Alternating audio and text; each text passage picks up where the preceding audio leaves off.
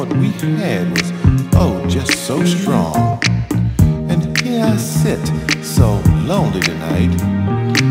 Just tell me what I can do to make things alright.